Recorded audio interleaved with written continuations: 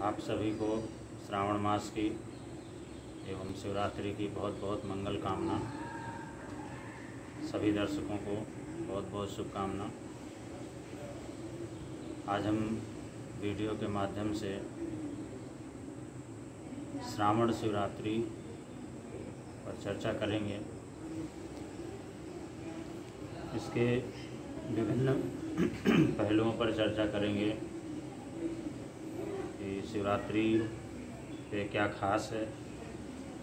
और किस तरह से भगवान शंकर की पूजा करनी चाहिए?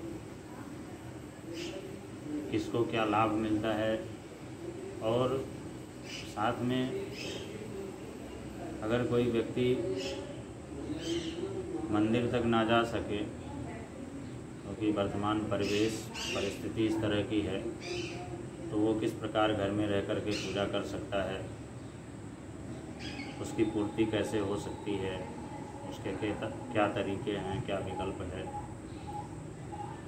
मित्रों, पूरे वर्ष में बारह शिवरात्रियाँ होती हैं और उसमें श्रावण मास की शिवरात्रि और फाल्गुन मास की शिवरात्रि विशेष होती है वर्ष में। दो शिवरात्रि बहुत विशेष होती है। इसमें भगवान शंकर की विशेष रूप से माता पार्वती और शंकर जी की पूजा की जाती है। शिवरात्रि व्रत के बारे में ऐसा शास्त्रों में कहा गया है, पुराणों में कहा गया है कि अगर कोई भी व्यक्ति वर्ष भर तक कोई व्रत उपवास नहीं कर सकता है किसी कारणवश, या जानबूझ करके भी अगर वो नहीं कर पाता है तो भी अगर केवल मात्र शिवरात्रि का व्रत कर ले तो उसे पूरे साल के व्रत उपवास का फल प्राप्त होता है। बहुत ही बड़ा अमोघ फल है शिवरात्रि के व्रत का। और इसके साथ साथ में चारों पदार्थों की धर्म, अर्थ, काम, मोक्ष चारों चीज़ों की प्राप्ति होती है। शिवरात्रि का व्रत ऐसा उत्तम व्रत है। भगवान शिव और माता पार्वती को समर्पित यह व्रत स्त्री, पुरुष,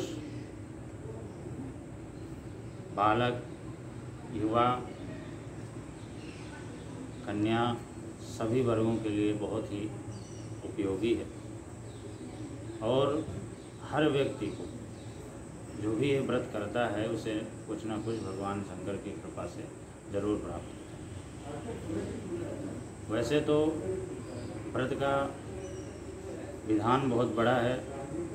जितना भी अधिक से अधिक किया जाए, उसका अधिक फल प्राप्त होता है।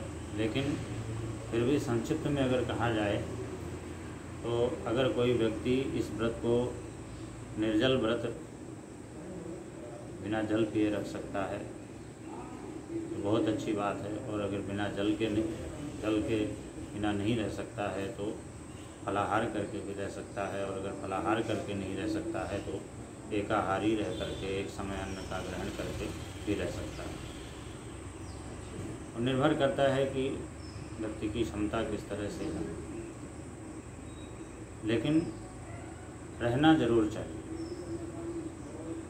क्योंकि तो इस व्रत को करने से भगवान शिव की जो प्रसन्नता होती है, उससे व्यक्ति की अधिक से अधिक मनोकामनाएँ पूर्ण होती हैं। इस बार जो शिवरात्रि का व्रत है 6 अगस्त 2021 शुक्रवार को पड़ रहा है। और शुक्रवार का दिन आर्द्रा नक्षत्र और सर्वार सिद्ध योग। इस व्रत की विशेषता है इस बार, सर्वार सिद्ध योग में शिवरात्रि पड़ रही है। और जो भी ऐसे योग में, ऐसे शुभ संयोग में पूजन करेगा और किसी मनोकामना के साथ करेगा तो ये निश्चित है कि उसकी मनोकामना ज़रूर पूर्ण होगी। अब साथ में इसके अलावा व्रत के कई सारे नियम भी होते हैं। शिवरात्रि के व्रत में पूजा, चार प्रहर की पूजा का विशेष विधान बताया गया। इसमें चार बार भगवान शंकर की पूजा होती है। इस बार जो पूजा का सबसे अहम समय है 6 अगस्त शुक्रवार को, प्रातः साढ़े छः बजे से और आठ पचास बजे के बीच का है। इसके बाद प्रदोष काल का जो समय है, वो शाम को सात बजकर दो मिनट से लेकर के और नौ बजकर चालीस मिनट के मध्य का है। ये प्रदोष काल का पूजन का समय है। और इसके बाद में जो तीसरा है, वो निशीत काल का है। ये दिन का, पहला जो पूजन का जो समय है, वो दिन का है। इसके बाद में प्रदोष काल का है, जो शाम को सात बजकर दो मिनट से लेकर के और नौ बजकर चालीस मिनट के मध्य का है। और इसके बाद में निशीत काल में, यानी निशा काल में, रात्रि काल में पूजा करने का जो समय है, वो बारह बजकर पाँच मिनट से लेकर के और बारह बजकर सैंतालीस मिनट के मध्य का है, पैंतालीस मिनट का शुभ समय है, उस दौरान पूजा किया जा सकता है। मुहूर्त की विशेषता इसलिए है कि अगर मुहूर्त के दौरान पूजा की जाए तो मिलने वाला जो फल होता है, वो अधिक मिलता है और कार्य सिद्धि की जो संभावना होती है, प्रबल संभावना होती है। इसके बाद में किस तरह से भगवान की पूजा करनी चाहिए और अगर कोई मंदिर ना जा सके तो वो किस प्रकार से करे? तो इसका दूसरा तरीका है जिस प्रकार से इस समय स्थिति चल रही है। मंदिर में जाना भीड़ भाड़ में जाना थोड़ा सा असंभव सा लगता है थोड़ा सा खतरा होता है, भय होता है लोगों में। तो कोई भी व्यक्ति जो इस व्रत को करता है, भोजन की सामग्री एकत्र करके अपने घर में मिट्टी का शिवलिंग बना करके पार्थिव लिंग बना करके भी उसका पूजन कर सकता है। और कहीं पवित्र स्थान से, पीपल के वृक्ष से, बेल के वृक्ष से, या किसी भी देव वृक्ष से, गंगा आदि पवित्र नदियों के तट से, किसी गुफा से ऐसे किसी जगह से मिट्टी को ला करके और उसको शुद्ध करके उसके, उसको शिवलिंग का निर्माण करें और साथ में पूरा भगवान शंकर के परिवार, पूरे परिवार की भी प्रतिमा बना सकते हैं, पूरे परिवार की प्रतिमा बनावे और उनकी प्राण प्रतिष्ठा करके उनका पूजन करें, यथासंभव, और अभिषेक करें। और अभिषेक करने के बाद में उन मूर्तियों की विशेष पूजा अर्चना करके और फिर मूर्तियों का विसर्जन कर दिया जाए। तो इस तरह से करने से भी पूर्ति हो जाती है और इसके अलावा जो पार्थिव लिंग पूजन का जो विधान है, उससे करीब एक हज़ार गुणा अधिक फल प्राप्ति होती है। तो अगर कोई व्यक्ति मंदिर में जा कर के नहीं कर सकता है तो इस प्रकार से शिवलिंग मिट्टी का लिंग बना करके और पूरे परिवार की मूर्ति बना करके और उसको यथासंभव उसकी पूजा करे और अभिषेक करे तो उससे उसको अधिक फल की प्राप्ति होती है। मित्रों, पूजा किस प्रकार से करनी चाहिए? वैसे तो बहुत बड़ा बड़ा विधान है। पाँच उपचार है, दस उपचार है षोडश उपचार है।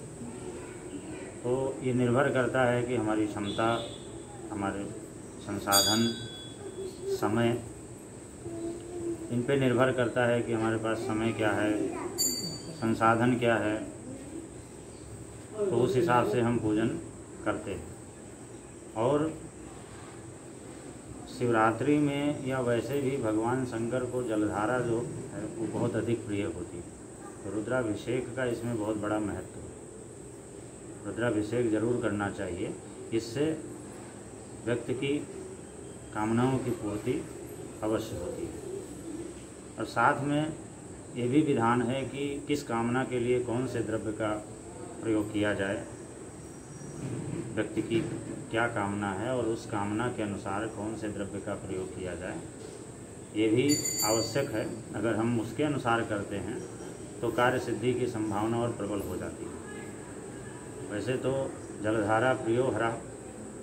जलधारा मात्र से ही भगवान शिव प्रसन्न होते हैं, लेकिन अगर कामना विशेष के अनुसार उस वस्तु विशेष से, उस द्रव्य विशेष से अगर अभिषेक किया जाए तो बहुत अच्छा होता है। जैसे अगर संतान की कामना है तो गाय के दूध से अभिषेक करना चाहिए। पशु आदि की कामना है तो दही से अभिषेक करना चाहिए। अगर किसी प्रकार की शरीर में व्याधि है, परेशानी है तो उसके जल से, कुशोदक से करना चाहिए, साथ में घी से भी करना चाहिए। इसके साथ अगर मान लिया श्री लक्ष्मी की कामना है, कारोबार इत्यादि में दिक्कत है तो गन्ने के रस से भगवान का अभिषेक किया जा सकता है। परस्पर प्रीति बढ़ाने के लिए, आपसी प्रेम बढ़ाने के लिए मधु से अभिषेक किया जा सकता है। मधु से अभिषेक करना चाहिए शहद से। और कन्याओं को मनोवांछित, मनोनुकूल वर प्राप्त करने के लिए नाना प्रकार के फलों के रस का अभिषेक करना चाहिए।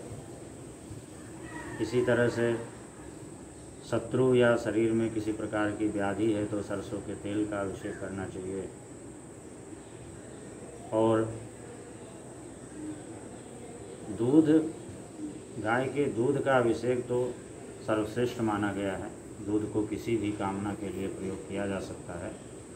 और सबसे, दूध के अभिषेक की सबसे खास बात यह है कि अगर किसी को संतान की कामना है, संतान में बाधा है, संतान नहीं हो रही है तो उसके लिए कहा गया है कि सद्या पुत्रम वापनोति पैसा चा विशेषणार्थ अगर इस तरह से दूध से अभिषेक भगवान शंकर का किया जाए तो पुत्र प्राप्ति, संतान की प्राप्ति ज़रूर होती है। इसी तरह से और भी कई सारी चीज़ें हैं। अगर मान लिया विद्या बुद्धि की कामना है विद्यार्थी वर्ग के लिए शर्करा मिश्रित जल से अभिषेक करने का बहुत बड़ा विधान है। उससे किया जा सकता है। उससे बुद्धि प्रखर होती है और बुद्धि तीव्र होती है। तो इस तरह से भगवान शंकर को अलग अलग कामना विशेष से रुद्राभिषेक करना चाहिए और खास करके ये व्रत जो है कुमारी कन्याओं के लिए भी बहुत ही उपयोगी है। और अगर विवाह कार्य में और इस तरह की कोई व्यवधान हो रहा हो, बाधा हो रही हो और उत्तम वर प्राप्ति की कामना हो तो भगवान शंकर की पूजा करके सोलह श्रृंगार माँ पार्वती और शंकर जी को अर्पण करना चाहिए और उसके हिसाब से फल और मिष्ठान इत्यादि नाना प्रकार के नैवेद्य अर्पण करना चाहिए। इस तरह से करने से हमारी कन्याओं को वर की भी उत्तम वर की प्राप्ति होती है। तो कुल मिलाकर के ये जो शिवरात्रि का व्रत है ये सभी के लिए बहुत उपयोगी है और इसको इस तरह से करना चाहिए। और अगर मंदिर में ना जा सके तो मिट्टी की मूर्ति बना करके उसका अभिषेक करें और उसका लाभ प्राप्त करें। बहुत बहुत धन्यवाद। तेरह पाँच। हम दूसरा और बनाओ